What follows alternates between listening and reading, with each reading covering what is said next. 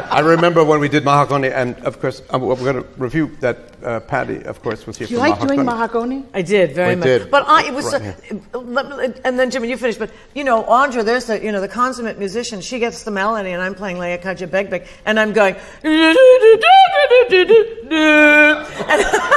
I'm going, and all that too was at the top of my range. I thought I should have, I should have done Weill years ago, and I'm lucky that at this point in my career, I did get to do a Weill piece. I did love it. It's I think that I don't it's, like that piece very much. well, it's You don't? No. deeply, deeply You need- political, and it's too long.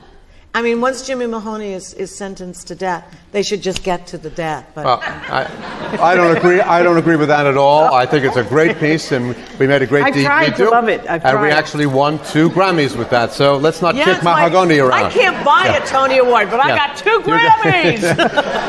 you never, you don't have a Tony? I said, well, no, but you know, I've been nominated a lot, and they go, yeah, I don't think so. No, Patti." you've got a few already. yeah, already. I don't think so, Patti. well, maybe. but all of a sudden, I've got, I'm two fisted with Grammys. I can't believe it. From Mahagonny. Yeah. Oh, you see, don't kick it around. Now, when you, I remember, No, I- I remember kidding? when I we did it. Mahagonny. You